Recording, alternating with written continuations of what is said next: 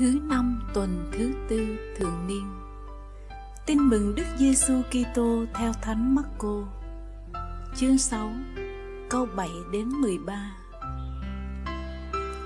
Đức Giêsu gọi nhóm 12 lại và bắt đầu sai đi từng hai người một. Các ông đi rao giảng, kêu gọi người ta ăn năn sám hối. Các ông trừ được nhiều quỷ, sức giàu cho nhiều người đau ốm và chữa họ khỏi bệnh. Suy niệm và cầu nguyện. Bài tin mừng hôm nay thuật lại việc Đức Giêsu sai 12 tông đồ đi rao giảng tin mừng. Ngài ban cho các ông sức mạnh và quyền năng trên mọi ma quỷ và chữa lành các bệnh tật. Sứ điệp đầu tiên Chúa Giêsu rao giảng cũng như sứ điệp ngài dạy các tông đồ đi rao giảng là, hãy sám hối. Sám hối là điều kiện phải có để đón nhận tin mừng.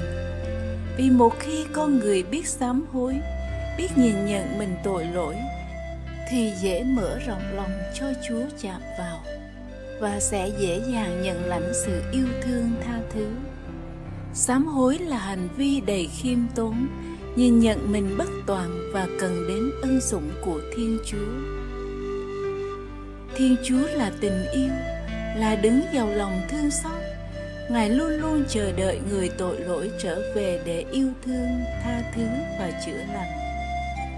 Bài tin mừng hôm nay cho chúng ta thấy rõ chân dung của người tông đồ Chúa Giêsu trong sứ vụ rao giảng tin mừng.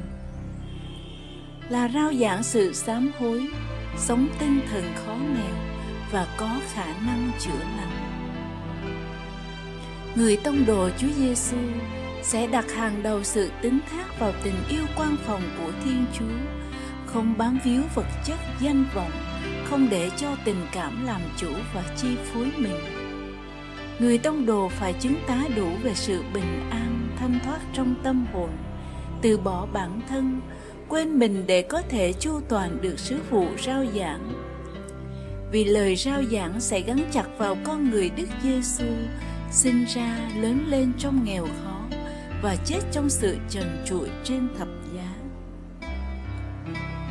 Chúng ta được mời gọi sống nghèo, phó thác hoàn toàn vào Thiên Chúa và dùng sự bình an nội tâm cùng với tương quan cá vị với Thiên Chúa mà chữa lành những vết thương trong tâm hồn của những ai chúng ta gặp gỡ trong hành trình thi hành sứ mạng.